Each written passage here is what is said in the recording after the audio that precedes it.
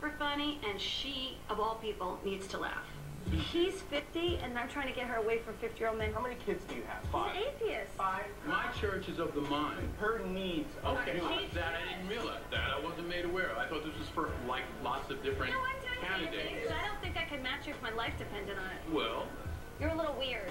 I don't think that makes me a bad person. I